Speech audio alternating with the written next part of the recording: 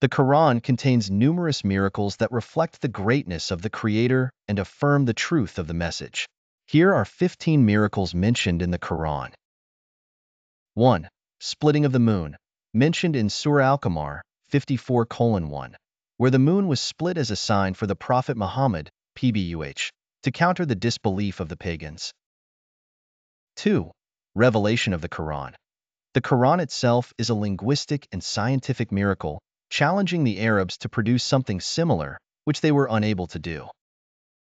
3 the night journey, Isra and Miraj, mentioned in Surah Al-Isra 17:1, where the Prophet Muhammad was taken from the sacred mosque in Mecca to the farthest mosque in Jerusalem and then ascended to the heavens.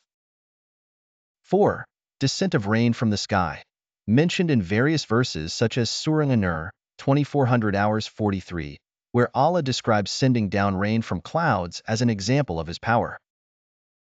5 creation of humans from a drop of fluid, mentioned in Surah Al-Mu'minin 23:12-14, describing the stages of human embryonic development from a drop of fluid to a fully formed being. 6. Moses' staff turning into a serpent, mentioned in Surah Taha 2020, when Moses threw his staff and it turned into a large serpent as a sign from God. 7.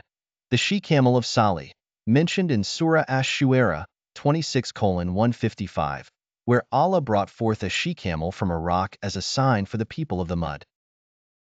8.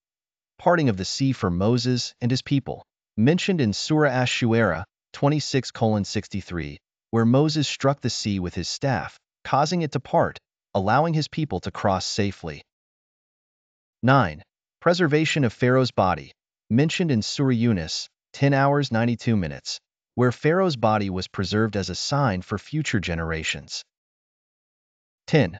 The sleep of the people of the cave for 300 years, mentioned in Surah Al-Kahf, 1825, where a group of young men slept in a cave for 300 years and were later revived. 11. The virgin birth of Jesus by Mary, mentioned in Surah Maryam, 19:19-21, where Mary conceived Jesus miraculously without a father. 12.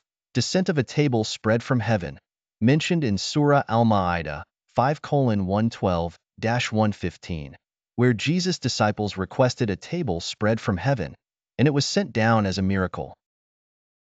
13. Jesus speaking in the cradle, mentioned in Surah Maryam 19:29-30, where Jesus spoke as an infant to affirm his prophethood.